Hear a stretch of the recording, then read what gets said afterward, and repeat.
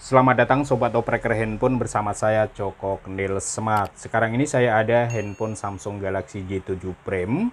Dan kasusnya handphone ini lupa akun Google-nya atau sekarang masih terkunci FRP-nya Kemudian di sini sebenarnya sebelumnya saya sudah melakukan bypass FRP dengan senam jari Tetapi ketika kita masuk di YouTube itu tidak bisa melewati YouTube Malah YouTube-nya itu minta update Terus kemudian ketika kita ingin hard reset ternyata tombol power dan volume atasnya itu bermasalah agak susah diteken ya, agak mendem seperti itu.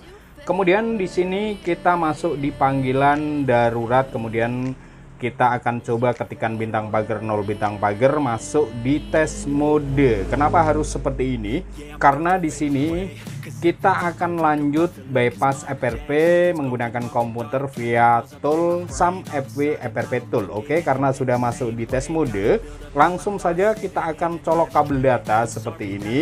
Kemudian kita letakkan handphonenya lalu kita bergabung dengan tampilan PC.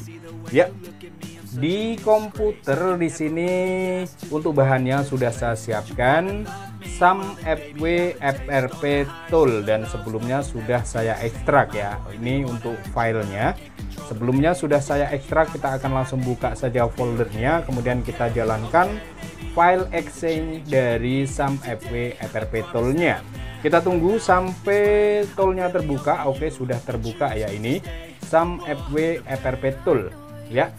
Kemudian pada toolnya di sini bisa kita lihat sudah terbaca sebagai Samsung Mobile USB Modem. Oke, lanjut kita bisa klik remove FRP.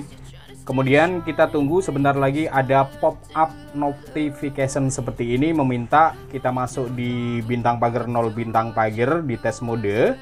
Karena handphone sudah berada di test mode sekarang, kita tinggal klik OK saja dan kita tunggu sampai berhasil di layar handphonenya muncul uh, izinkan USB debugging seperti itu ya biasanya. Oke ini sudah ada penampakan.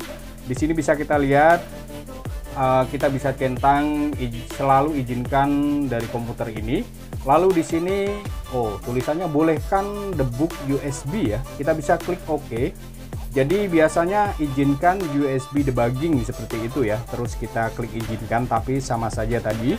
Kita tinggal tunggu saja proses selanjutnya dan kalau berhasil bisa kita perhatikan pada layar handphonenya ya. Dia berubah-ubah tampilan seperti ini. Dan kalau sudah selesai handphone akan otomatis restart sendiri. Ya seperti ini bisa kita lihat handphone restart sendiri ya. Mati dan kemudian menyala kembali Oke, kita bisa lepaskan kabel datanya dan kemudian kita tinggal menunggu sampai proses bootingnya ini selesai. Untuk proses bootingnya ini tidak terlalu lama ya, sekitar 20-an detik.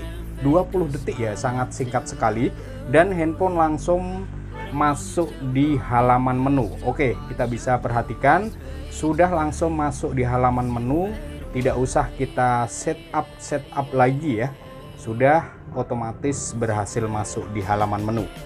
Jadi sekali lagi buat teman-teman di sini kita mengerjakan Samsung Galaxy J7 Prime kasusnya terkunci FRP-nya. Awalnya kita ingin melakukan senam jari uh, proses bypassnya, tetapi ketika kita ingin melewati YouTube, YouTube-nya itu minta update.